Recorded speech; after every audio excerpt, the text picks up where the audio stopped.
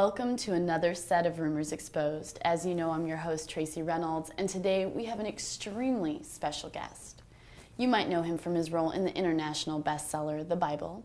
Here to clear up some rumors about his endeavors, please welcome Jesus Christ.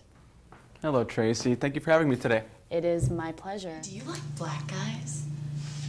I know these three boys, they're cousins, and oh my god, they will knock your shit back. And you know, black guys love Asian chicks, and you're thick. They'll tear you up. I can't do this anymore. Okay.